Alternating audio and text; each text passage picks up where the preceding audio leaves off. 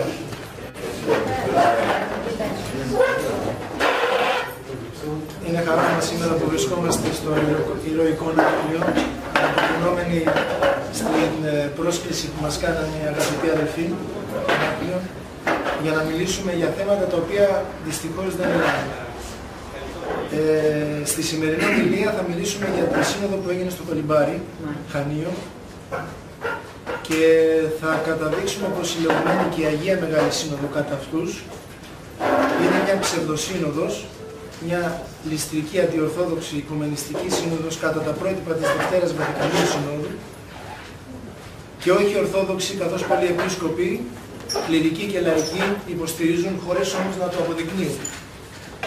Το μόνο που υποστηρίζουν είναι ότι πρέπει να κάνουμε υπακοή στην Εκκλησία. Αυτή την υπακοή που ισχυρίζονται όμως πως πρέπει να κάνουμε είναι μια υπακοή παπικού τύπου. Δαιμονική και όχι κατά Θεόν. Γνωρίζουμε ότι σε θέματα πίστος δεν ακολουθούμε νεωτερισμούς, αλλά υπακούμε στην διαχρονική Εκκλησία του Χριστού, σε αυτά δηλαδή που δογμάτισαν οι Άγιοι μας, οι Απόστολοι, οι Οικουμενικές και τοπικές Ορθόδοξες Σύνοδοι και όχι στον κάθε Πατριάρχη που κηρύσσει αντιορθόδοξα και ερετικά και στους λοιπούς οικουμενιστές επισκόπους ή οτιδήποτε είναι αυτό, που αποδομούν ολόκληρη την Ορθόδοξη παράδοση. Το συμπέρασμα που αβίαστα εξάγεται εκ της μελέτης των κοινοποιηθέντων τελικών κειμένων της λεγόμενης Αγίας και Μεγάλης Συνόδου, καθώς και από τις απαντήσεις και αναλύσεις εγκρίτων θεολόγων και μητροπολιτών, είναι ότι τελικώς η σύνοδος αυτή αποδεικνύεται αντιορθόδοξη, ληστρική και αιρετική, διότι πρώτον, επετεύχθη τελικά ο στόχος της εκκληστιαστικοποιήσεως των αιρέσεων.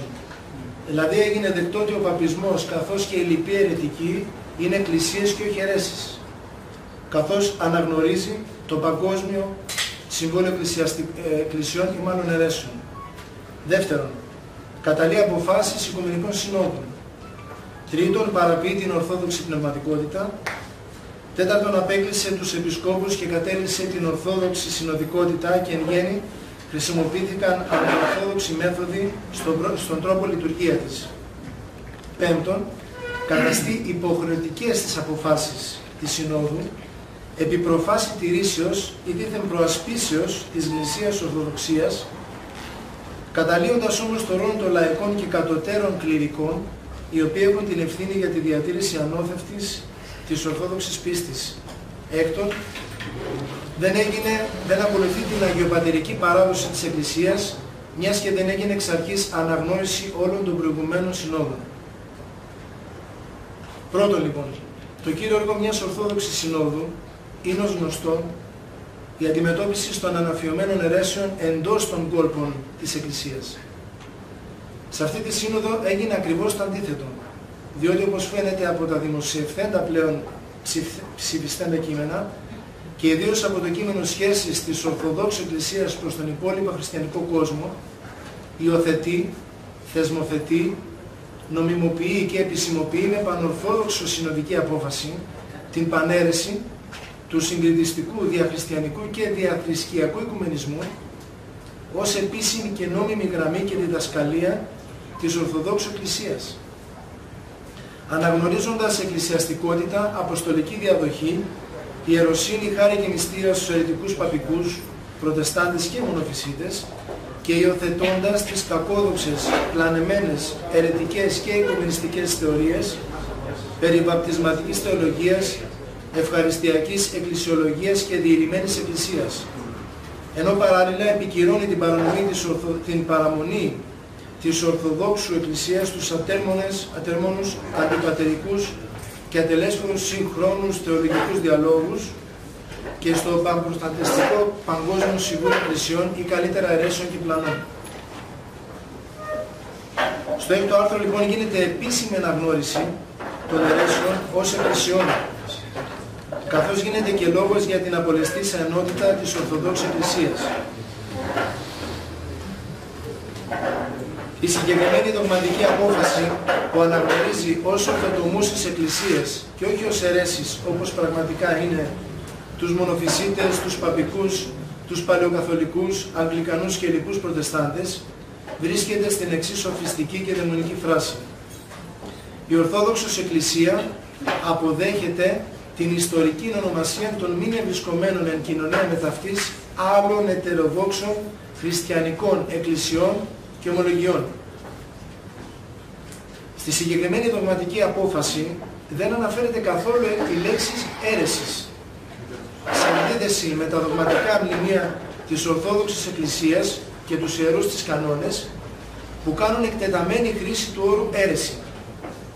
Αυτό σημαίνει ότι η ίδια δογματική απόφαση θεωρεί την Ορθόδοξη Εκκλησία ως μια άλλη χριστιανική εκκλησία ημολογία. Τόσο δηλαδή η Ορθόδοξη Εκκλησία όσο και οι άλλες ετερόδοξες χριστιανικές εκκλησίες και ομολογίες έχουν την ίδια πίστη, αλλά διαφέρουν μόνο στη θεολογική διατύπωσή τους. Γι' αυτό το λόγο, προκειμένου να υπάρχει συγκριτιστική ενότητα της Ορθόδοξης Εκκλησίας με τις ελληνικές ομάδες, το μόνο που απομένει είναι να υπάρξει πρόοδος στη σύγκληση των θεολογικών τους διατυπώσεων, ως προς το θέμα της δίθεν κοινής πίστης που έχουμε. Η ενόγω δωματική απόφαση διατυπώνεται ως εξής στο συνέδριο.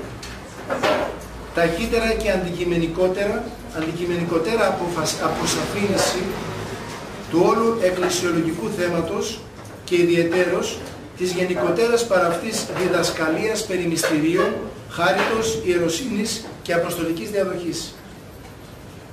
Ενώ κατά την οντολογική φύση της Εκκλησίας η ενότητα ήδη υπάρχει και γι' αυτό είναι αδύνατο να διαδραθεί εν τούτης, η Ορθόδοξη Εκκλησία αποσκοπεί αντικειμενικά στην προλίανση, δηλαδή την εξομάλυνση της οδού που οδηγεί σε μια άλλη ενότητα, ενότητα διαφορετική της οντολογικής, δηλαδή στην συγκριτιστική ενότητα της Ορθόδοξης Εκκλησίας με τις αιρετικές ομάδες και όχι επί της πραγματικής ταυτότητας πίστης.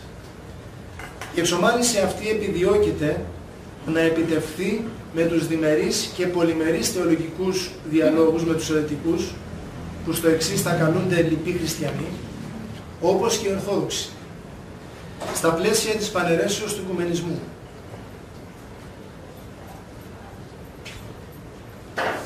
Συγκεκριμένα στην παράγραφο 16 σημαίνονται τα εξής. Εν εκ των κυρίων οργάνων εν τη ιστορία της οικουμενικής κινήσεως είναι το Παγκόσμιο Συμβούλιο Εκκλησιών. Παραλλήλως, υφίστανται και άλλοι διαχριστιανικοί οργανισμοί και περιφερειακά όργανα ως η διάσκεψη των Ευρωπαϊκών Εκκλησιών και το Συμβούλιο Εκκλησιών Μέσα Ανατολής, ΣΕΜΑ, και το Παναφρικανικών Συμβούλιο Εκκλησιών. Ταύτα, μετά του Παγκοσμίου Συμβουλίου Εκκλησιών, τηρούν σημαντική αποστολή για την προώθηση της ενότητος του χριστιανικού κόσμου. Εδώ θα κάνουμε μια παρένθεση για να καταδείξουμε πως οι δηλώσεις του Οικουμενικού Πατριάρχου έχουν άμεση σχέση με τη Σύνοδο και τις αποφάσεις που ελήφθησαν. Θα παραθέσουμε μόνο μία. Κατά την πρόσφατη συνάντησή τους στα Ιεροσόλυμα με τον Ερεσιάρχη Πάπα Φραγκίσκο το Μάιο του 2014 δήλωσε η μία Αγία Καθολική και Αποστολική Εκκλησία λόγω της υπερισχύσεως της ανθρωπίνης αδυναμίας και του πεπερασμένου θελήματος του ανθρωπίνου νοός διεσπάστηκε χρόνια. Ούτω διεμορφώθησαν καταστάσεις και ομάδες ποικίλε. Εκατατόπους τόπους εκκλησίε οδηγήθησαν εις διάσπαση της ενότητος της πίστεως, εις απομόνωση. Ερχόμεθα ο Πάπας και εμείς διανατάμωμεν οδούς, δια να συνεχιστεί πορεία της εκπληρώσεως του θελήματος του Θεού, ήτι της καταντήσεως της εις την ενότητα της Εκκλησίας. Τότε ως Αγιορείτες είχαμε διαμαρτυρηθεί στην Ιερά Κοινότητα και στους ηγουμένους και είχαμε γράψει το εξής. Αλήθεια πατέρες, ποιος από τους Αγίους Αποστόλους και τους Αγίους Πατέρες εδίδαξε ότι η αποκοπή των ερετικών διαιρεί και διασπά την Εκκλησία, ότι επειδή υπάρχουν ερετικοί η Εκκλησία δεν έχει ενότητα και είναι διασπασμένη; Η Εκκλησία και μετά την αποκοπή των ερετικών παραμένει πάντοτε μία, ακεραία και αλόβητη. Δεν διασπάται σε πολλές εκκλησίες, όπως θέλει ο Πατριάρχης, εξισώνοντας την Ορθοδοξία με την αίρεση.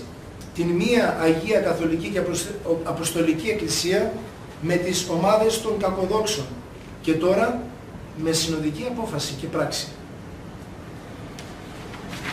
Περιληπτικά λοιπόν, όχι μόνο δεν καταδικάστηκε καμία ετεροδοξία, αίρεση δηλαδή, αλλά και κατοχυρώθηκε θεσμικός η πανέρεση του οικουμενισμού.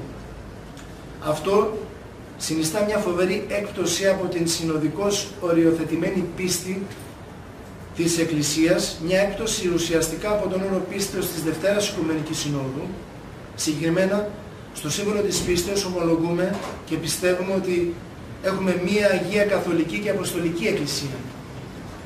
Στο Συμβόλαιο της Ανομίας της Κρήτης, δέκα αυτοκέφαλες εκκλησίες, μεταξύ των οποίων και η Εκκλησία της Ελλάδος και το Άγιον Όρος φυσικά, αφού είχε στείλει επίσημο αντιπρόσωπο που αποδέχτηκε πλήρως την Ορθοδοξότητα των κειμένων της Συνόδου, αποδέχτηκαν αθεολόγητα την βαπτισματική θεολογία και έμεσα την θεωρία των κλάδων αναγνωρίζοντας ως εκκλησίες τους Ρωμαιοκαθολικούς, κατά αυτούς Φραγκολατίνους για μας, τους Μαρονίτες, τους Νεστοριανούς, τους Μονοφυσίτες, Αντιχαλκιδονίους, τους Μονοθελητές, οι οποίοι καταδικάστηκαν για την χριστολογική τους αίρεση από σειρά οικουμενικών συνόδων, αλλά και την πανσπερμία των προτεσταντών που αντιπροσωπεύονται στο Παγκόσμιο Συμβούλιο των Λεγόμενων Εκκλησιών.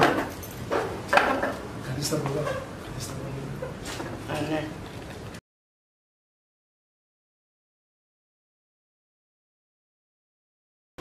Η Εκκλησία του Χριστού βρίσκεται μόνο εκεί που υπάρχει αλήθεια.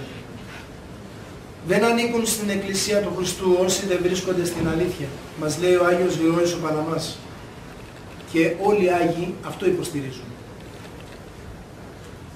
Στον επίλογο της σημερινής ομιλίας και σαν απάντηση όλων εμάς που δεν συμπορευόμαστε με την ληστρική ψευδοσύνοδο του Κολυμπαρίου που μας εισάγει μια νέα πίστη από, την, από την παραδεδομένη των Αγίων Αποστόλων και των Αγίων Πατέρων, ας είναι απάντηση των τεσσάρων Πατριαρχών και των Συνόδων των Πρεσβυγενών Πατριαρχείων στην απάντησή τους το 1848 στον Πάπα Ρώμης Πίον τον Ένατο και που την βρίσκουμε στα δογματικά και συμβολικά μνημεία της Ορθοδο... Ορθόδοξης Καθολικής Εκκλησίας. Διότι η πίστη μας αδελφοί δεν είναι από ανθρώπους, ούτε μέσω ανθρώπων, ούτε μέσω ανθρώπων, αλλά με αποκάλυψη Ιησού Χριστού, την οποία κήρυξαν οι Άγιοι Απόστολοι, κρατέωσαν ιερές οικουμενικές σύνοδοι, παρέδωσαν με διαδοχή η μέγιστη διδάσκαλη της οικουμένης και επικύρωσαν τα εκχυθέντα αίματα των Αγίων Μαρτύρων μας. Να κρατήσουμε την ομολογία την οποία παραλάβαμε άδολοι από τέτοιους ανθρώπους, αποστρεφόμενοι κάθε νεοτερισμό ως υπαγόρευμα του διαβόλου. Εκείνος που δέχεται νεοτερισμό κατελέχει σαν ελλειπή την Ορθόδοξη πίστη. Αυτά δεν είναι δικά μας λόγια, είναι, τον, είναι της Εκκλησίας μας. αλλά αυτή η πεπληρωμένη ήδη, η Ορθόδοξη πίστη, έχει σφραγιστεί μη επιδεχομένη ούτε κάποια μείωση, ούτε κάποια αύξηση, ούτε κάποια αλλίωση. Και εκείνος που τολμά ή να πράξει, ή να συμβουλεύσει, ή να, να διανοηθεί τούτο, ήδη αρνήθηκε την πίστη του Χριστού. Ήδη καθυποβλήθηκε στο αιώνιο ανάθεμα επειδή βλασφημεί στο Πνεύμα το Άγιο. Ότι δήθεν δεν μίλησε ολοκληρωμένα στις γραφές και μέσω των Οικουμενικών Συνόδων. Το φρικτό αυτό ανάθεμα, αδελφοί και τέκνα εν Χριστώ αγαπητά, δεν εκφωνούμε εμείς σήμερον, αλλά εκφώνησε πρώτος ο σωτήρας μας. Όποιος πει κατά του Πνεύματος του Αγίου, δεν θα συγχωρηθεί ούτε στον παρόντα, ούτε στο μέλλοντα αιώνα. Κατέχομαι από βαθιά έκπληξη και απορία από το γεγονός ότι τόσο εύκολα και γρήγορα φεύγετε από τον Θεό, ο οποίος σας κάλεσε με την χάρη του Ιησού Χριστού και μεταπηδάτε σε άλλο Ευαγγέλιο, σε άλλη διδασκαλία, την οποία οι ψευδοδιδάσκαλοι παρουσιάζουν ως Ευαγγέλιο τάχα του Χριστού. Αυτό δεν το ψευδοευαγγέλιο δεν είναι τίποτε άλλο παρά ότι υπάρχουν μερικοί οι οποίοι σας ταράσουν και θέλουν να μεταβάλουν και να ανοθεύσουν το Ευαγγέλιο του Χριστού. Αλλά εάν και εμείς, ακόμη οι Απόστολοι ή Άγγελος από τον ουρανό, σας κηρύττει Ευαγγέλιο διαφορετικό από εκείνο, το οποίο εσείς έχετε παραλάβει από την αρχή από εμάς, ας είναι αυτός αναθεματισμένος και χωρισμένος από το Θεό, σύμφωνα με τον Απόστολο Παύλο. Εκφώνησαν τούτο οι επτά Οικουμενικές Σύνοδοι και όλη η χωρία των Θεοφόρων Πατέρων. Όλοι λοιπόν οι νεοτερίζοντες ή με αίρεση ή με σχίσμα, εκουσίως ενδύθηκα κατά τον ψαλμοδό κατάρα ως σημάτιο, είτε πάτρε, πάπες, είτε πατριάρχες, είτε επίσκοποι, είτε κληρικοί, είτε λαϊκοί έτυχε να είναι. Είτε άγγελος από τον ουρανό σας κηρύττει Ευαγγέλιο διαφορετικό από εκείνο το οποίο εσείς έχετε παραλάβει. Έτσι, φρονώντας οι πατέρες μας και υπακούοντας στους ψυχοσωτήριους λόγους του Παύλου, στάθηκαν σταθεροί και εδραίοι στην πίστη που παραδόθηκε εκ διαδοχής σε αυτούς και διέσωσαν αυτήν άτρεπτη και άχραντη διαμέσου τόσων αιρέσεων και παρέδωσαν αυτήν σε μας ειλικρινή και ανώθευτη, όπως βγήκε άδολη από το στόμα των πρώτων υπηρετών του Λόγου. Έτσι φρονώντας και εμείς, άδολη όπως την παραλάβαμε, τη μετοχετεύουμε στις επερχόμενες γενναίες, χωρίς να αλλοιώνουμε τίποτε, για να είναι και εκείνοι όπως και εμείς ευπαρουσίαστοι και ακατέσχυντοι, ομιλώντας για την πίστη των προγόνων τους και των προγόνων μας. Αμήν. Αυτό ήταν. Μπορούμε να, μπορούμε να κάνουμε, να προχωρήσουμε σε ερωτήσεις, αν θέλετε.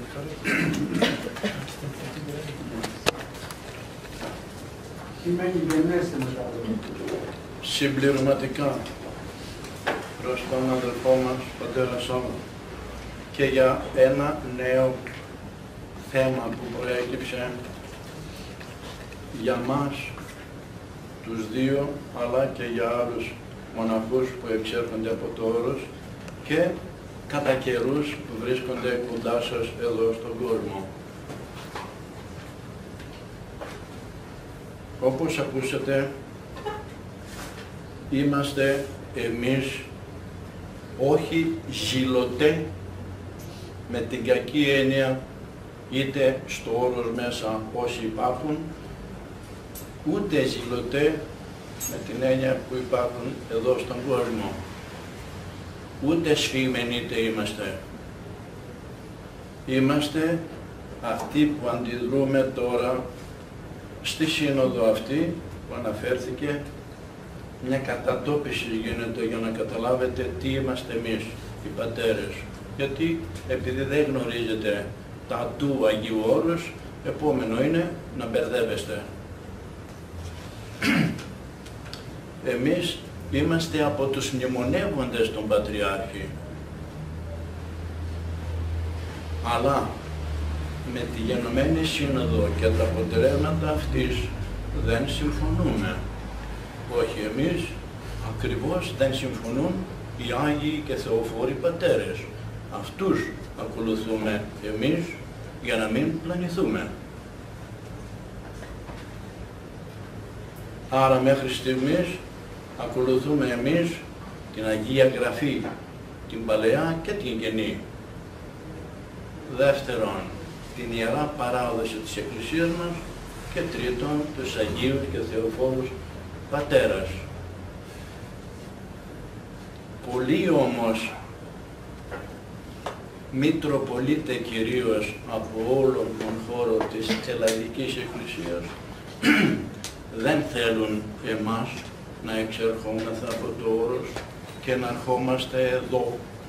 Όχι να σας προσιλητήσουμε.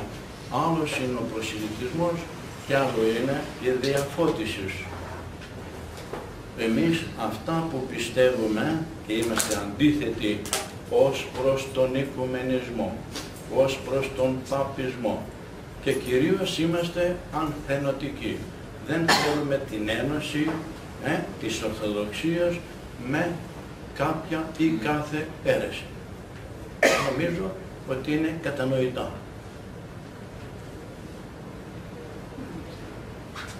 Δεν θα μνημονεύσουμε αν θα αποφασίσουμε στη συνέχεια και θα κόψουμε το μνημόσυνο του Πατριάρχου. Εμείς οι ολίγοι ναι, στηριζόμαστε. Μα θα πείτε τώρα εσείς, οι υπόλοιποι αγιορείτε και οι ηγούμενοι κυρίως, αυτοί είναι πλανεμένοι που είναι με το Οικουμενικό Πατριαρχείο και θέλουν την Ένωση. Αυτοί για πολλούς λόγους δεν θέλησαν ούτε είναι του παρόντος να εξηγήσουμε γιατί δεν θέλησαν να βοηθήσουν εμάς τους ασκητάς. Εμείς αυτή τη στιγμή περισσότεροι είμαστε ασκητές, ερημίτε του Αγίου Όρους. Δεν έχουμε κοινοβιάτες μαζί μας. Οι κοινοβιάτες ανήκουν στον ηγούμενό τους. Ο ηγούμενος δε αναφέρει και αναφέρεται γενικότερα στο Πατριαρχείο όπου ανήκουμε και ανήκει όλο το όρος. Αυτοί σας είπα για πολλούς λόγους και διαφόρους δεν συμφώνησαν μαζί μας για να μας βοηθήσουν στην αντίθετη τώρα πλευρά που παίρνουμε εμείς εναντίον της Συνόδου. Και καταλαβαίνετε ότι στο όρος αυτή τη στιγμή υπάρχει μέγας της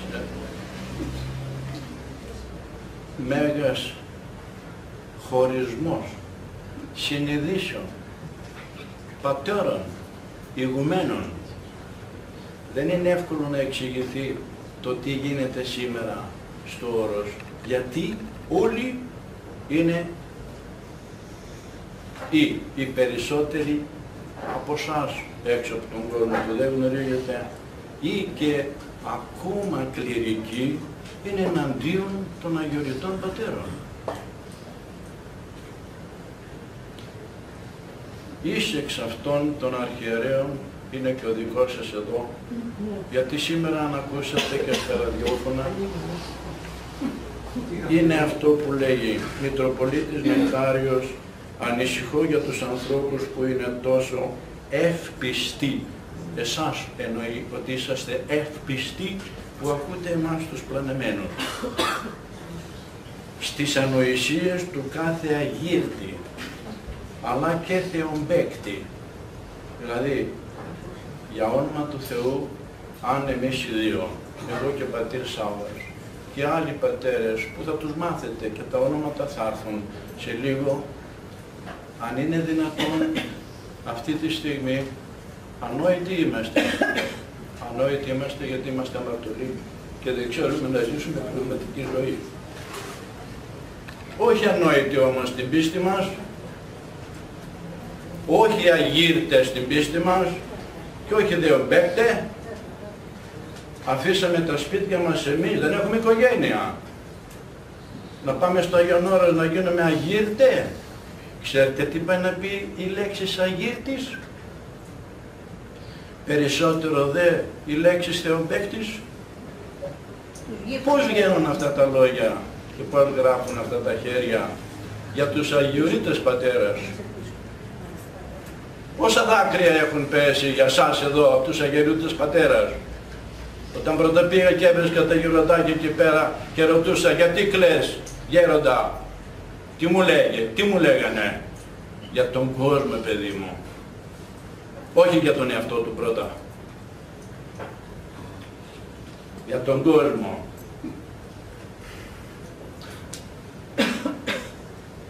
Τι κάνουμε εμείς εκεί πέρα; Για σας δεν κλαίμε.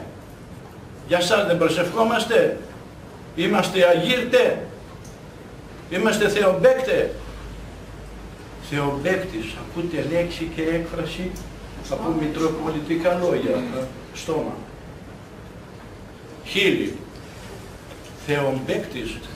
Ε, είναι αυτός ο οποίος είναι τελείως έξω από την πίστη προς τον Θεό που νομίζει ή πιστεύει ότι πιστεύει. Θεομπέκτης. Δεν μπορεί να εξηγήσεις τη λέξη και κυρίως εμείς που αφήσαμε τα σπίτια μας, αφήσαμε τα πάντα για να πάμε εκεί να κλάψουμε τις αμαρτίες μας, το προηγούμενο αμαρτωλό παρελθόν μας, να μετανοήσουμε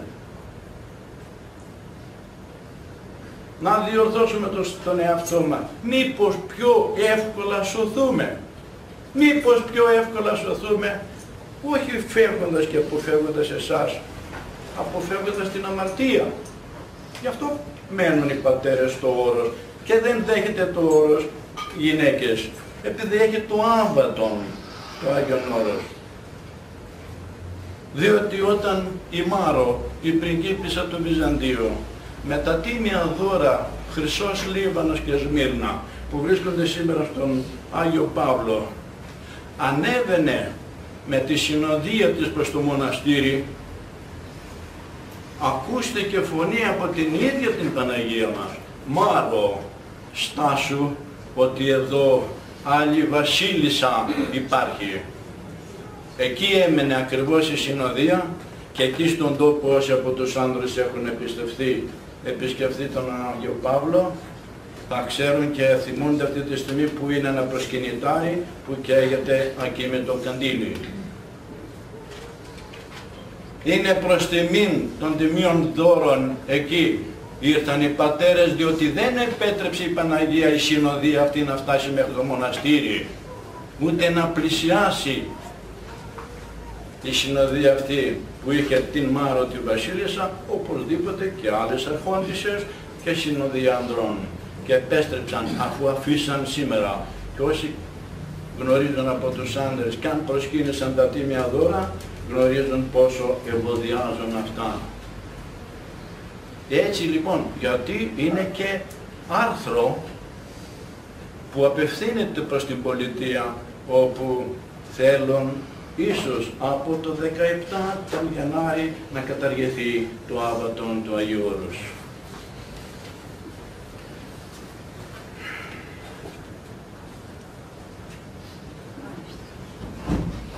Νομίζω και δεν επιτρέπεται να πω περισσότερα, διότι συγγόμεθα είναι, δεν είναι μόνο ένας Μητροπολίτης, είναι κι άλλοι μέσα στην πατρίδα μας, διότι εγώ προσωπικά που εξέρχομαι από το 1992, είναι περίπου 25 χρόνια που βγαίνω έξω με ευλογία τριών πνευματικών από το όρος, γιατί δεν ήθελα ποτέ να βγω.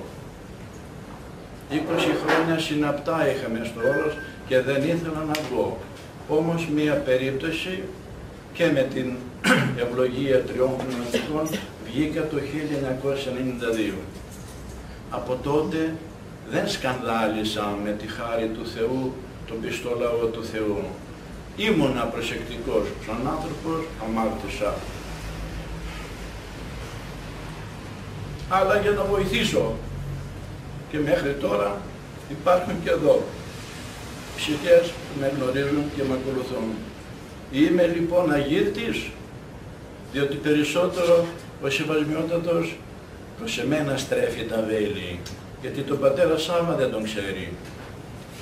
Στο κελί μου, στα κατουνάκια, στον Ευαγγελισμό, τον έφερε ο πατήρ Ιωσήφ, ο σημερινός, υποτακτικός μεν του γέροντας Εφραίμ του κατουνακιώτου και τώρα είναι γέροντας του κελίου Άγιος Εφραίμ στα κατουνάκια. Αυτός έφερε τότε τον νυν επίσκοπό σας, τον έφερε όταν ήταν ηγούμενος του Σαγματά. Τον έφερε στο κελί μου. Τους φιλοξένησα. Τότε ήμουνα φίλος, τώρα δε εχθρός. Άλλαξα από τότε μέχρι τώρα εγώ έγινα καρπός μοναχός. Έγινα πατεώνας, αγύρτης και θεομπέκτης. Δεν πρέπει έτσι. Βλέπετε ότι ο πονηρός καταφέρνει με τους ανθρώπους της Εκκλησίας να κάνει ζημιά στην Εκκλησία. Και λέει ο λαός, αν τέτοιους φίλους έχεις, τι τους θέλεις τους εχθρούς;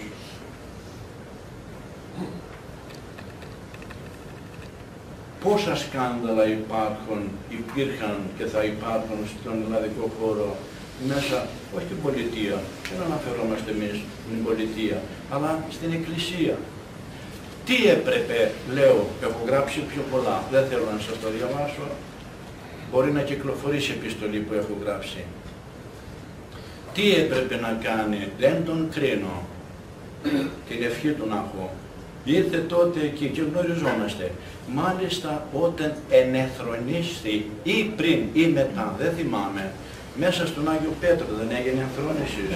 Ε; Ήμουνα εκεί και γυρίζει και με κοιτάζει και μου λέει είσαι ο Πάτερ Κύλος από τα κοτονάκια. Ναι. Κάτι όμως συνέβη και δεν πρόλαβα. Ε, πήγα να τον συγχαρώ, κατέβηκα από πάνω αφού είναι γνωστός μου. Και ήταν γνωστός μου χρόνια. Είσαι ο Πάτερ Κύλος από τα κατονάκια. Ναι, του λέω. Και προσπαθώ να του βάλω μετάνια και να τον συγχαρώ και να του πω ότι έρχομαι εδώ και τώρα ως νέος Μητροπολίτης να μου δώσει την εμπορία να είμαι και να έρχομαι. Δεν ξέρω αν το θυμάται.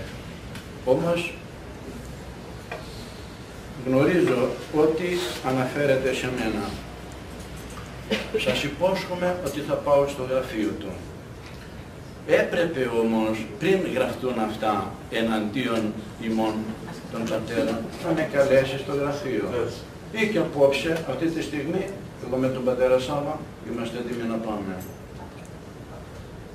Νομίζω ότι καταλαβαίνετε το, το πνεύμα μας. Μα εσείς μιλάτε για την αλήθεια, γι' αυτό δεν σας κάλεσε. Κάνετε κακό. Η αλήθεια κάνει κακό σήμερα τελικά.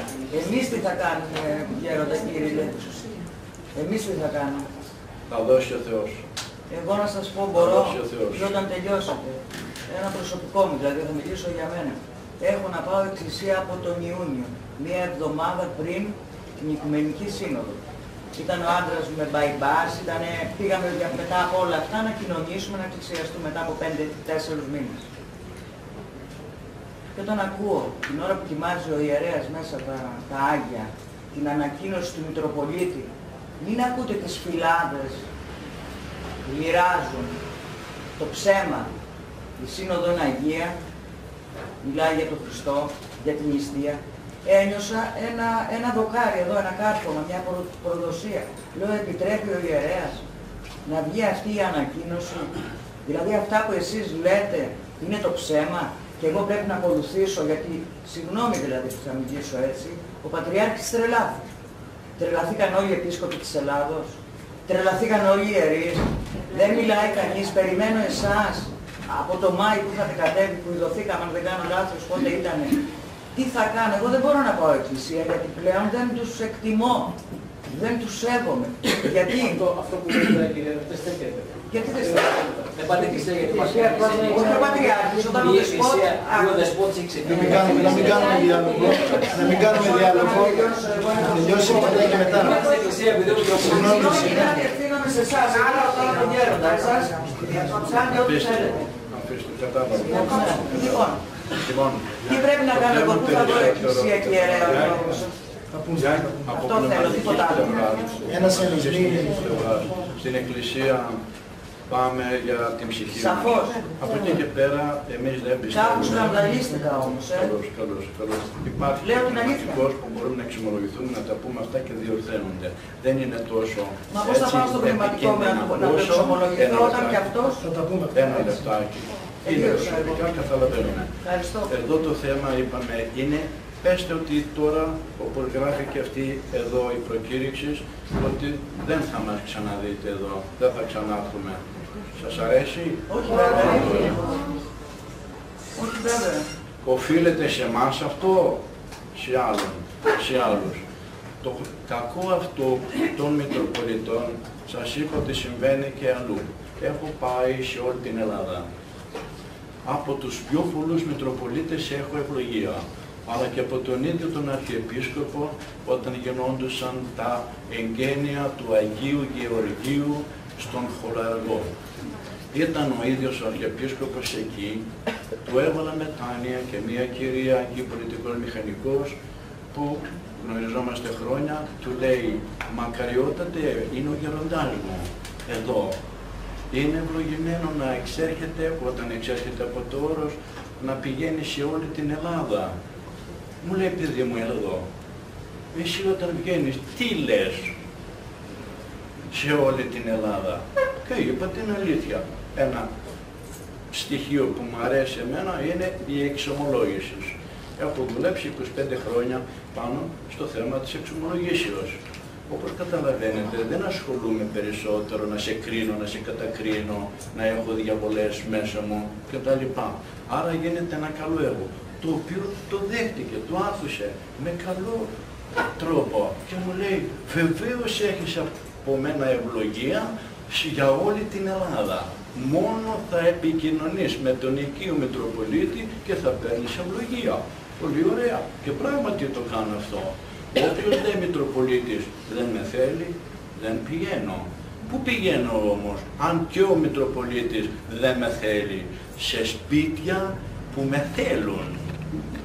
Διότι δεν σας κρύβω, το 1992 που βγήκα σας λέω, πήγα στον Μητροπολίτη Κηφισίας, όχι αυτός που είναι τώρα ο Κύριλλος, είναι, ήταν άλλος, δωρόφιλος, δεν θυμάμαι, τότε.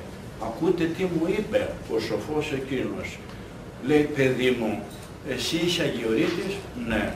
Είσαι ιερομόναχος, όχι. Να σου πω να ξέρεις, όταν είναι ο αγιορείτης ιερομόναχος, πρέπει να έρθει να πάρει ευλογία από τη Μητρόπολη, αν είναι έστω και ακολουθία να κάνει, πόσο μάλλον για Θεία Λειτουργία, είναι ιερομόναχος. Εγώ του λέω που είμαι μοναχός. Εσύ μπορεί να πηγαίνεις στα σπίτια εκεί που σε καλούν. Για ομιλία, για συζήτηση, όπως καλή ώρα. Κακό είναι και αυτό. Δηλαδή εμείς δεν είμαστε Έλληνες πολίτες, να βγούμε έξω.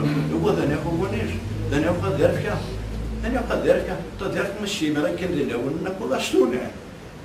Όταν ο Μητροπολίτης μου πει ότι στο σπίτι σου το πατρικό δεν μπορεί να πας γέροντα επειδή είσαι αγιορείτης και ανήκεις πνευματικά στο Πατριαρχείο εγώ θα αφήσω τα αδέρφια μου να κολλαστούν, δεν θα προτίσω να πάω πνευματικό. Πού να πάω να κάνω ιεραποστολή στο Κονγκό, στην Αφρική θα πάω τη στιγμή που τα αδέρφια μου τα σαρκικά μου κολλάζονται. Να τακτοποιήσω πρώτα τα σαρκικά μου αδέρφια και μετά τα πνευματικά αδέρφια. Αυτή είναι η τάξη της Εκκλησίας μας. Πόσοι Άγιοι που ε, ε, από τόπο εις τόπον λέει. Πού είναι ο Άγιος Κορνάς ο Τελός, μέσα σε εκείνο το χάλι της τουρκοκρατίας ε, και ανεδείχθη ιερομάρτης και εις Απόστολος. Πώς έτσι, σήμερα εμείς δεν είναι ένα μικρό βοήθημα για σας, η έξοδός μας δεν είναι μια μικρή βοήθεια. Ας Μεγάλη. Πίνουμε στο όνομά σας πίνουμε νερό και εσείς πίνετε γιατί κάποτε θα σε είχα στείλει σε ένα πνευματικό που δεν ήξερες τι είναι πνευματικός. Μέσα σε ναό, 70 ετών κυρία, όταν πριν, πριν, πριν της είπα, δεν έχεις πνευματικό. Τι, τι, τι είναι αυτό, μου λέει, τι είναι αυτό, τι είναι αυτό, τι είναι αυτό λέει, γέροντα. Πνευματικός είναι που πάμε και λέμε τις αμαρτίες μας και είναι άνθρωπος του Θεού που φοράει ένα πετραχίλι εδώ και σου συγχωρεί τις αμαρτίες. Α, έτσι είναι. Πού να πάω; Μες στην Αθήνα την έστειλα εκεί, εκεί. Μετά από λίγες μέρες συναντηθήκαμε.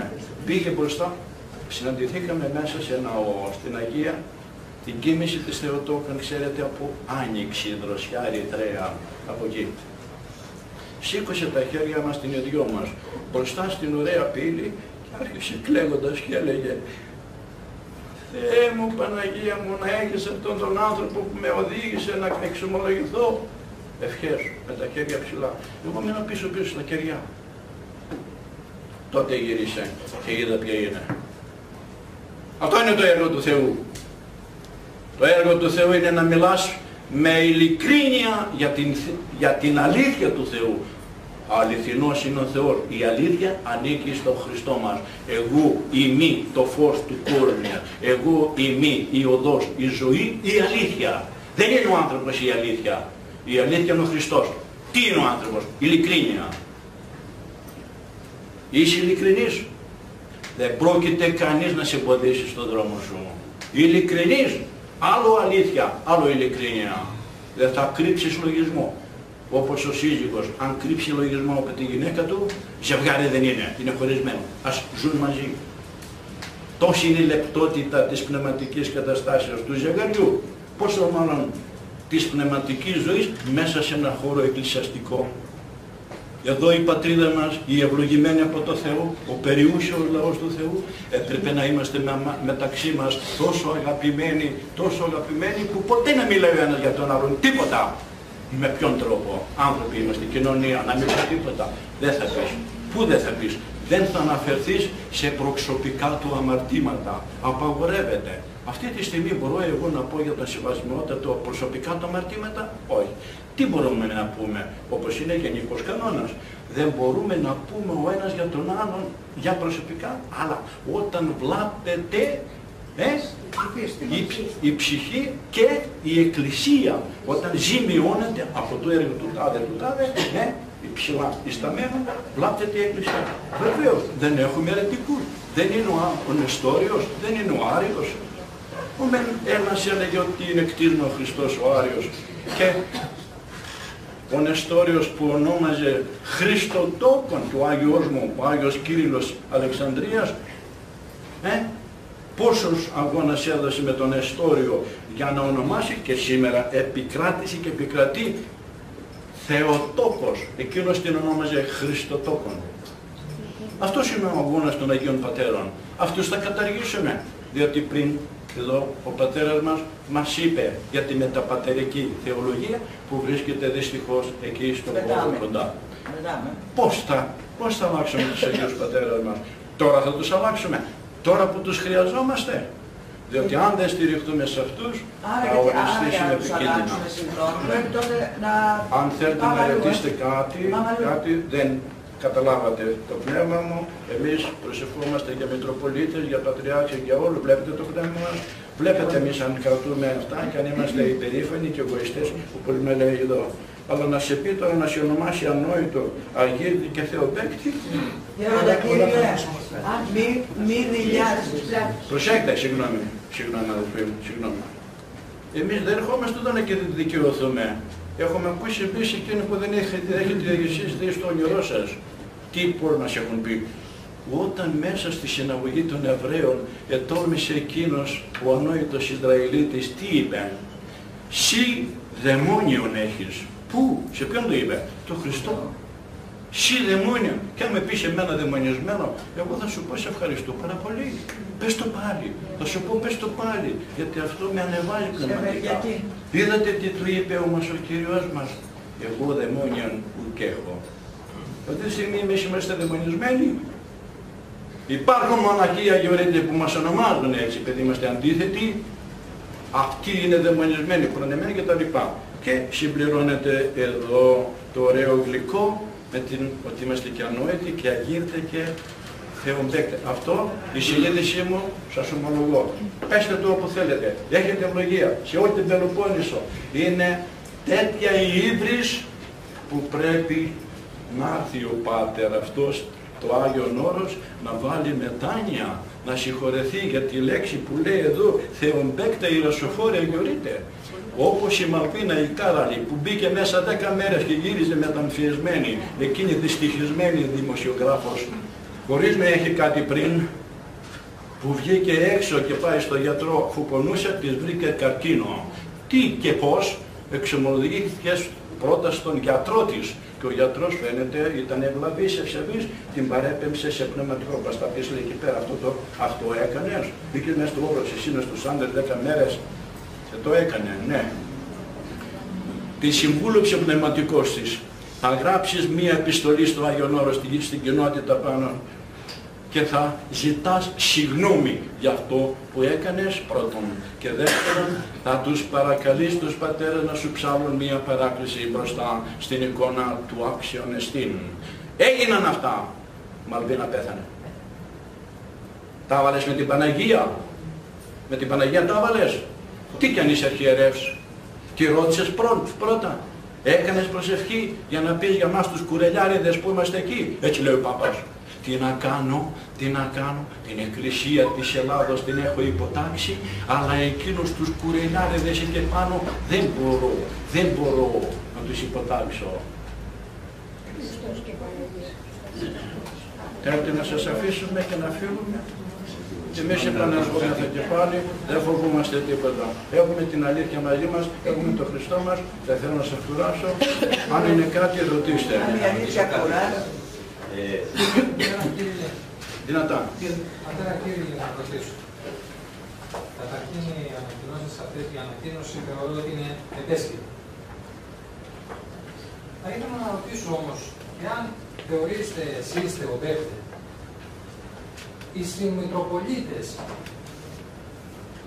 όπως είναι ο Πυραιός Σεραφείμ, το οποίο το γραφείο ερέσεων λέει ακριβώς τα ίδια πράγματα στις ανακοινώσεις του περί του οικουμενισμού και περί της συνόδου στο Κολυμπάρι.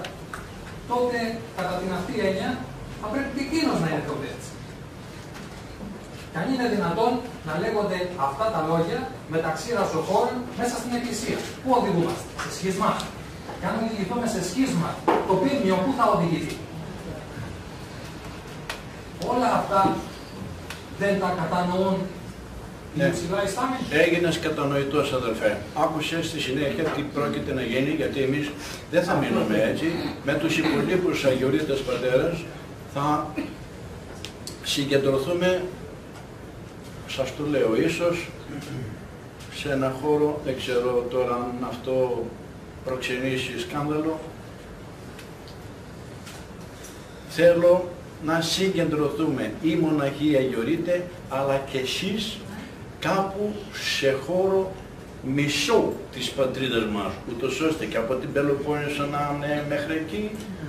Συγγνώμη, συγγνώμη που δεν αναφέρω, γιατί φοβάμαι τα σκάνδαλα, τα καρφιά και τούτα και εκείνα. Πάνε να το πούνε αμέσως και θα το πούνε μετά, μην γίνει εδώ, μην γίνει εκεί. Από τη Μακεδονία να είναι εύκολη η πρόσβαση εκεί στο κέντρο, από κάτω, εκεί, για να συγκεντρωθούν και εσείς και οι μοναχοί και οι κληρικοί που θα πάρουμε αποφάσεις πλέον για την διακοπή του μνημοσύνου. Από όλη την Ελλάδα. Από όλη την Ελλάδα. Απόψε εδώ εμείς δεν μιλήσαμε για διακοπή γιατί θέλουμε και τη δική σας τη γνώμη και των άλλων από όλη την Ελλάδα, κυρίως των κληρικών. Των κληρικών. Μη λέμε πολλά, δεν χρειάζεται, λίγα λόγια καταλαβαίνετε πολλά. Ορίστε. Κάλυψε ο Κύριος, κατά το ίμιση με κάλυψε ο Κύριος. Μάλιστα. Ο Μητροπολίτης Πυραιός και ο πατήρ Μεταλλινός. Τι, τι άποψη έχουν για αυτά που λέτε εσείς; Ακριβώς θα γίνει αυτό; που λέμε τώρα, πατήρ Θεόδωρος Ζήσης, ο πατήρ Μεταλλίνος, ο κύριος καθηγητής της Ελεγγύλης, Και, και, και συμπληρώνω, πρέ- πρέπει να έχουμε κάτι, να συνεννοούμεθα, δηλαδή επικοινωνία. για μια επικοινωνία. Επικοινωνία. Κάτι. Τηλέφωνα. Θεοδέτες, συνθήκη. Τηλέφωνα. Αν θέλετε το δικό μου, γράψτε το αυτή τη στιγμή. Ναι, να στείλω. 6, 9, 7, 4. Μισό λεπτό. Θα το πω πολλές φορές.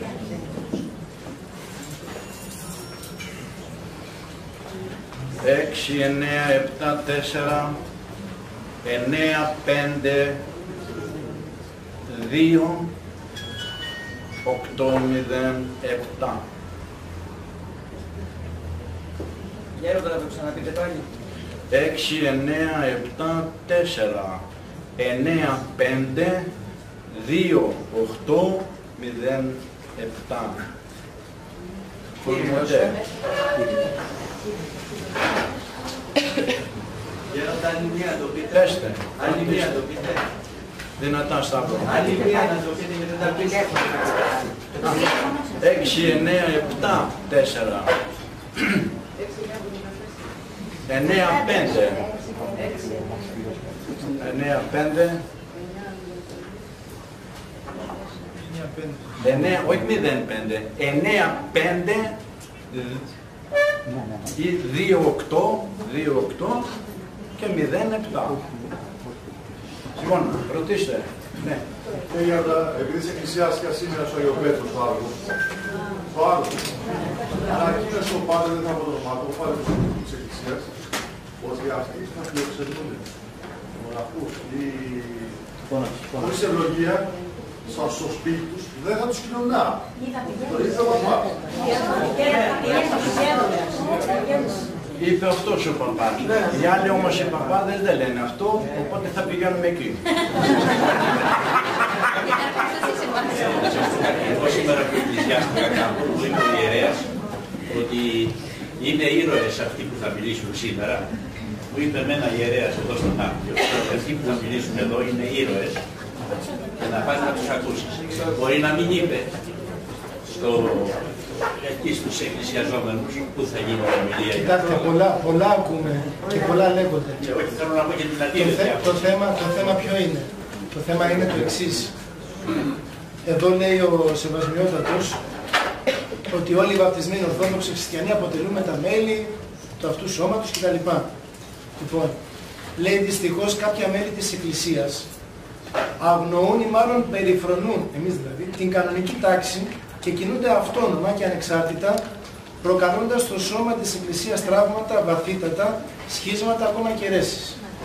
Και μετά λένε ότι ειδικά, λέει, ειδικά στην επαρχία μας τελευταία κυκλοφορούν συ- συχνά ρωσοφόροι, ακόμα και λαϊκοί, που δεν φοβούνται ούτε το Θεό ούτε τους ανθρώπους. Μοναχοί αμόναχοι που έδωσαν φρικτές υποσχέσεις κατά την κουρά τους, προδίδουν το αγγελικό σχήμα, φεύγουν από το μοναστήρια τους, παραβιάζοντας τους όρκους περιπακοής τους στο γέροντά τους και γυρνούν όλη την επικράτεια για να σώσουν δίθεν τον κόσμο. Αυτό ανακηρύσσονται σωτήρες και τα λοιπά και τα λοιπά και μάλιστα λένε ότι καταπατάμε και τους ιερούς κανόνες. Ναι. Εμένα αυτό το πράγμα που λέει αυτό, εμένα μου σκιαγραφούν τους, πε- τους επισκόπους και τους ε, πατριάρχες. Γυρίζει αντίθετα αυτό που λέμε. Είναι σαν να ακούω για τους επισκόπους, γιατί οι επίσκοποι καταπατούν τους Για- κανόνες. Για τον Όχι Αγιορείτη εμείς. μοναχό θα φύγει από τη μετανιά του να πει να κηρύξει στον κόσμο. Καλά τόσο, τόσο, τόσο χαμηλά θα πέσει. Δεν μου λέτε, έχετε ακούσει ποτέ αν ένας Αγιορείτης είναι Εχωβάς. Οι Μητροπολίτες φοβούνται πιο πολύ τους Αγιορείτες παρά τους Εχωβάδες. Εδώ γράφω που δεν σας τη διάβασα, θα την κυκλοφορήσω την επιστολή και θα τη μάθετε. Θα δείτε τι ακριβώς γράφω. Όταν οι, οι Εχωβάδες σε κάθε χώρο, σε πόλη, σε χωριός, σε επαρχία ενοχλούν το πίμνιο, τους Ορθοδόξους Χριστιανούς, ερώτηση είναι από εμάς. Τι κάνουν οι Μητροπολίτες για τους Ιεχωβάδες που είναι αναγνωρισμένοι αιρετικοί; Προσέξτε τι γίνεται τώρα. Να μην ακουστεί στην επικράτεια ότι ήρθε Αγιορείτης μοναχός για τον Ιεχωβά που σου γυρίζει όλη την ώρα, σου χτυπάει την πόρτα, σου φε- φανερώνει το σκουπιά και τον ξύπνα. Ουδεμία προσπάθεια, κανένα σκάνδαλο, κανένας πειρασμός. Αφήστε τους αυτούς, δεν μας πειράζουν, λέει. Όταν τρώνε τα, τα πρόβατα τα δικά μας αυτοί, διότι τώρα ονομάζονται και μάρτυρες του Ιεχωβά χριστιανοί. Χριστιανοί μάρτυρες, το συμπληρώσαν, δεν το είχαν παλιότερα το 60, το 70. Πάτερ της προάλλες, ε, στην ήρθε στην Ελλάδα η λέσχη δεν επερείται. Ναι. Τον Εβραίο. Λοιπόν, είχαν μαζευτεί από όλα τα, τα μέρη Και οι αντι- αντιπροσωποί αυτών πήγαν και στον ε, ε, Αρχιεπίσκοπο Ιερώνυμο να δώσουν παρουσία.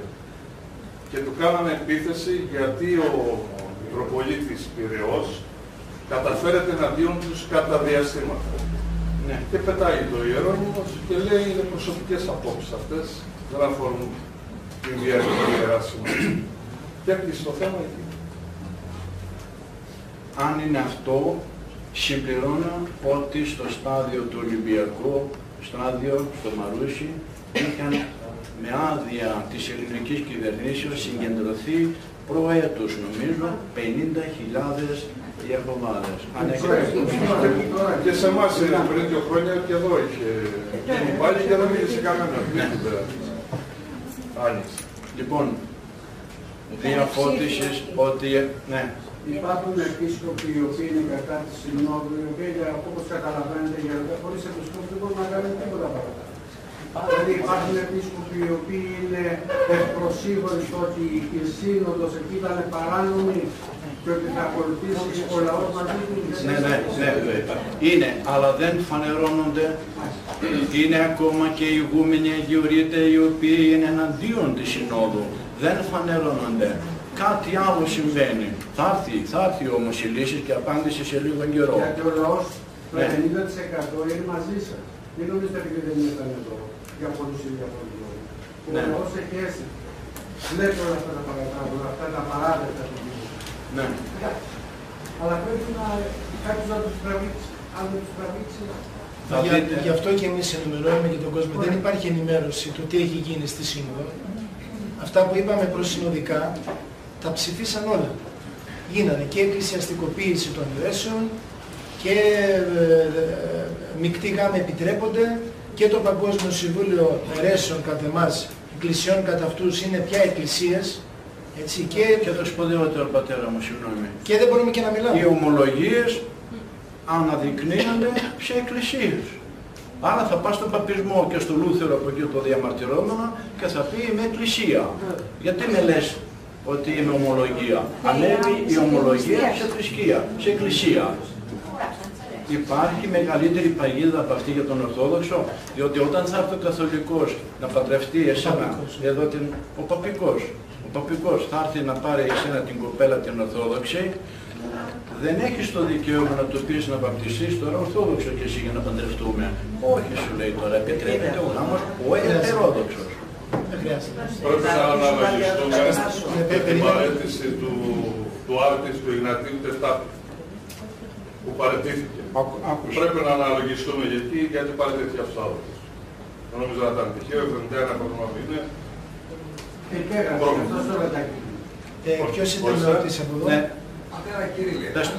αν συμβαίνουν όλα αυτά, μπορεί κάποιος να μας εξηγήσει γιατί ανά τους αιώνες τότε τόσοι άνθρωποι έχασαν τη ζωή τους για την ομολογία του Χριστού, γιατί έχισαν το αίμα τους και γιατί αγιοποιήθηκαν. ακριβώς. Ποιος ο λόγος; Συμφωνούμε. Για να μαθαίνουν ανθρώπους. Εδώ σημαίνει Και εκτός αυτού, σε μια συνέντευξη που έδωσε στις 18, αν δεν κάνω λάθος, 18 Αυγούστου ο πατέρας Σάβα, είπε ότι θα περιμένουμε πρώτα να μιλήσουν οι Μητροπολίτες και οι ιερείς. Θεωρώ ότι οι Μητροπολίτες ήδη κάποιοι μιλήσαν. Ο Μητροπολίτης Φλόρινας μίλησε δίνοντας στην Ιερά Σύνοδο για δίκη τον πατέρα Παΐσιο Παπαδόπουλο. Τον κυνηγάει τώρα. Προχτές μίλησε, Αν δεν προχτές, κυνήγησε τότε, τον μίλησε ο κυνηγάει Κώστας. τώρα. Και να δεις τα αποτελέσματα, ορίστε. Βέβαια, όλοι οι αγώνες για το δίκαιο από τους λίγους ξεκίνησαν. Και δεν μας τρομάζει αν σας λένε δαιμονισμένους και θα πούνε και εμάς που είμαστε εδώ σήμερα. Ναι. Όμως εμένα με ανησυχεί κάτι άλλο και αυτό έτσι πρέπει να προσέξουμε. Τρομάζω πραγματικά και επονάω. Η διχόνοια που μπορεί να φέρει τον διχασμό, Ναι. όλο αυτό που συμβαίνει τώρα Ναι. ανάμεσά μας. Και είναι αυτό που κατατρώει τη φυλή μας εδώ και, και αιώνες. Ε, θα πρέπει λοιπόν εσείς με πολύ, να μας, όλους να μας αγκαλιάσετε και να μας διαφωτίσετε ναι. και εμείς να προσέξουμε, γιατί άκουσα την κυρία προηγουμένως, δηλαδή θα πρέπει να διαφωτίζουμε και να μιλάμε μεταξύ μας με πολύ αγάπη και διάκριση, γιατί αυτοί θέλουν να εφαρμόσουν το διέρη και βασίλευε και με δεδομένο ότι οι περισσότεροι ε, έχουν τώρα και τα προβλήματα, τα οικονομικά, η υγεία χτυπιέται όταν δεν έχεις που Τα να πάντα. δώσεις απολογία, δεν έχεις να αγωνιστείς για τα πνευματικά. Συμπληρωματικά να μην ξεχάσω και μην παρεμβληθεί κάποιος άλλος και να συμπληρώσω αυτό. Ένα τηλεφώνημα σήμερα μου είπε ότι επίκειται, επίκυνται πέντε σχίσματα από την κατάσταση αυτή. Δεν μας φτάνει το σχίσμα του 1054 με τον Πάπα. Δεν μας φτάνει ο ερχομός του 1500 του Ρόσελ, αρχηγός των ε, Εβραίων, των ε, Ιαχωβάδων από τον Μπρούκλιν το 1500. Δεν μας φτάνει το 1924 με το σχήμα του Μελέτιος, ο Μεταξάκης, τι μας έκανε εκεί να δείτε πόσες ψυχές χάθηκαν και χάνονται, διότι το θέμα τους πλέον είναι εκείνο ο φανατισμός, ακραίος φανατισμός και κατάκριση θανάσιμη. Αν ακούσετε πώς μιλάνε για μας και για μας ακόμα που είμαστε με το ίδιο το ημερολόγιο, μας λένε ότι είμαστε κολλασμένοι. Τώρα όμως τι γίνεται, τώρα που ο πόλεμος, προσέχτε, αρχίζει δυστυχώς από τους Μητροπολίτες να είναι εδώ μπροστά. Οι Μητροπολίτες, οι ιερείς μας, οι ηγούμενοι του Αγίου Όρους, έπρεπε εμάς τους λίγους, τους ασκητάς που ξεκινήσαμε αυτό τον όμορφο αγώνα. Προσέχτε, επειδή καταλαβαίνετε και σας ευχαριστώ πάρα πολύ. Καταλαβαίνετε πάρα πολλά και γι' αυτό ήρθατε απόψε εδώ. Εμείς δεν στηριζόμαστε σε σκάνδαλα, σε αιρέσεις, τίποτα. Ξεκινάμε από ένα υπόβαθρο του. Βλέπετε πόσο λευκό είναι. Τι σας είπα πριν; Αγία Γραφή, Ιερά Παράδοση, Άγιοι Πατέρες. Ε; Δεν είναι το πιο όμορφο αυτό, η πιο όμορφη αφετηρία; Θα μου πεις ότι και εγώ εδώ στηρίζομαι. Αφού στηρίζεις και εσύ και εγώ, αλλά είμαστε όμοιοι και προχωρούμε. Πού είναι το πρόβλημα; Δηλαδή, έπρεπε να γίνει η σύνοδος αυτή. Για ποιο λόγο και τι θα συμπλήρωνε; Αφού από το ένα μετά Χριστόν μέχρι τώρα δεν είναι όλα τέλεια. Πού είχαμε πρόβλημα; Το νιώθετε; Ένα μετά Χριστόν πάει και ο Πάπας το 1054 και ο Ιεχωβάς και ο άλλος και ο άλλος. Εμείς προχωρούμε. Όπως πράγματι. Δεν έχεις πνευματικό, δεν έχεις ομολογήσει, δεν κοινωνάς, δεν πας στην ενορία σου. Τα έχεις καλά με τον Πάτερ, με τον δεσπότη σου. Πού είναι το πρόβλημα; Μας δημιουργούν προβλήματα. Δεν δημιουργούμε. Και βλέπετε, αυτό είναι το σημείο που ήθελα να τονίσω, να με συγχωρέσεις και ο αδερφός μας. Ότι εμείς που είμαστε στη θέση μας, σωστοί, εμείς τώρα φταίμε. Ε, μας κάνετε, δηλαδή κάθεσαι στο σπίτι σου και έρχομαι και σου λέω τι κάνεις εδώ πέρα; Εδώ τι- εσύ φταίς. Να σου πω για το σπίτι σου, εσύ φταίς. Οι σύνοδοι δεν γίνονταν πάντα ε, γέροντα, γιατί Ναι, το βέβαια. πρόβλημα. Τώρα γιατί Ναι. δεν. Είπατε προηγουμένως ότι ετοιμάζεστε μάλλον να διακόψετε το μνημόσυνο του Πατριάρχου. Αυτό πρακτικά σημαίνει σχίσμα; Όχι. Σε Όχι. καμία περίπτωση. Τι σημαίνει; Ορίστε. Ο 15ος κανόνας της Πρωτοδευτέρας Συνόδου του Μεγάλου Φωτίου, φυσικά τον είχε πρωτοποιεί, αυτό τον κανόνα τον είχε πρωτοποιεί ο Αγίος Εφρόνιος Ιεροσολύμων τον 7ο αιώνα. Ε, και καθώς και άλλοι κανόνες, αλλά αυτός είναι ο κύριος κανόνας που το λέει αυτό, απαγορεύει την, ε, την μη μνημόνευση του Επισκόπου στη Θεία Λειτουργία όταν πρόκειται για οτιδήποτε άλλο εκτός από αίρεση. Λέει μέσα όταν ο επίσκοπος κηρύσει γυμνή την κεφαλή αίρεση, τότε αυτοί που διακόπτουν και αποτυχίζονται από τον επίσκοπο, που κάνουν διακοπή μνημοσύνου, όχι μόνο δεν δημιουργούν σχίσματα στην Εκκλησία, αλλά και διαφυλάττουν την ομόνια της Εκκλησίας. Ακριβώς. Λοιπόν, αυτό εμείς κάνουμε εμείς αυτή τη στιγμή. Έχει, ε, ε, έχει δημιουργηθεί ένα πρόβλημα μέσα στην Εκκλησία. Όπως προ, προηγουμένως είπε η κυρία, μία σύνοδος, και αυτό που είπαμε και εμείς προηγουμένως, μία σύνοδος γινόταν η σύγκριση μιας συνόδου, όταν στην Ορθόδοξη Εκκλησία υπήρχε ένα πρόβλημα. Έγινε κάποιος και κήρυσε ερετικά. Έτσι. Και γινόταν η σύνοδος για να μπορέσουν να διορθώσουν αυτή την κατάσταση και να αποκόψουν το ε, σε σιπός μέλος της, εκκλη- του- της Εκκλησίας, είτε ήταν αυτός μοναχός, είτε ιερέας, είτε επίσκοπος, είτε πατριάρχης. Αυτός που κήρυσε αιρετικά για να μην προχωρήσει η κακοδοξία και η μόλυνση στα, επίλοιπα- στα υπόλοιπα μέλη της Εκκλησίας. Αν δεν ε, συγχρονιζόταν γιατί μια σύνοδος και οι κανόνες έχουν παιδαγωγικό χαρακτήρα. Εμείς δεν βάζουμε τους κανόνες μπροστά και λέμε τσεκούρωμα και ούτε οι Αγίοι Πατέρες εθεσπίσαν τους κανόνες με σκοπό να τσεκουρώνουν και να καταδικάζουν επειδή τους αρέσει να καταδικάζουν.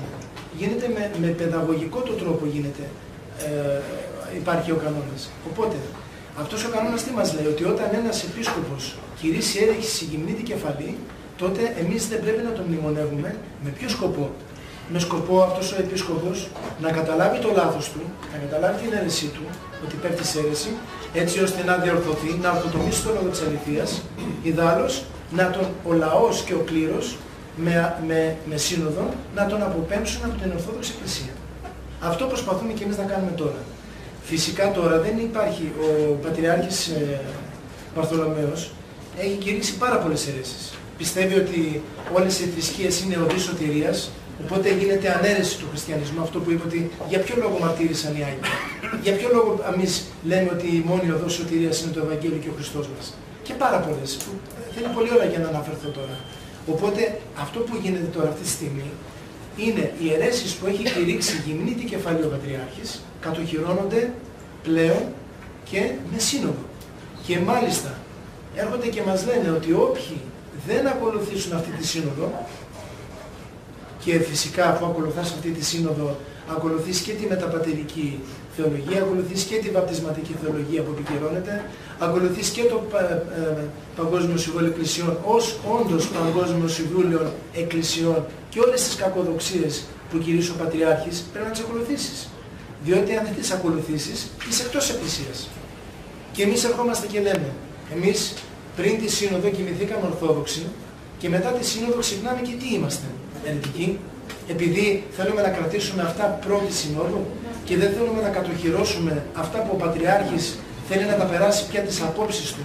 Και όλη αυτή την μεταπατερική θεολογία που είναι διαβολική θεολογία να την περάσει με σύνοδο και να μας πει κιόλα ότι όποιοι δεν ακολουθήσουν είναι εκτός Εκκλησίας επειδή προφάσει ότι εμείς ε, Και διαφυλάσσουμε την Ορθοδοξία και ας πούμε, τους αφορίζουμε τι είμαστε, επιπλέον. και ότι θα μας αφορήσουν. Εμείς δεν μπορούμε λοιπόν να ακολουθήσουμε αυτή την σύνοδο διότι είναι αντιορθόδοξη. Το αποδεικνύουμε και δεν την ακολουθάμε. Οπότε έχουμε υποχρέωση να ακολουθήσουμε τους κανόνες. Τους κανόνες της Εκκλησίας, τους οποίους κανόνες και ο Πατριάρχης και οι Οικουμενιστές, είτε επίσκοποι είτε κληρικοί, τους καταπατούν. Και τους λέμε, ορθοτομήστε το λόγο της αληθείας και εμείς θα είμαστε μαζί σας. Εμείς δεν θέλουμε ούτε σχίσματα να δημιουργήσουμε, ούτε δημιουργούμε. Αυτοί δημιουργούν σχίσμα στην Εκκλησία. Αλλά δεν μπορούμε και να τους ακολουθήσουμε. Και θα σας πω και κάτι άλλο, για να το, για να το επικυρώσουμε αυτό.